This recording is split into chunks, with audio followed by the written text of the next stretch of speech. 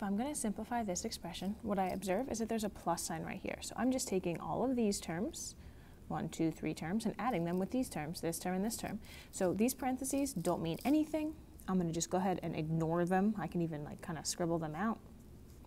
And I'm going to go ahead and combine my like terms. This is 5m squared, right? Remember, I'm looking for variable and exponent the same. Here's the same. So that those two are like terms. 5m squared and minus 3m squared. That's 2m squared. Now I'm looking for another term with an m. There's no other terms, just bring it down.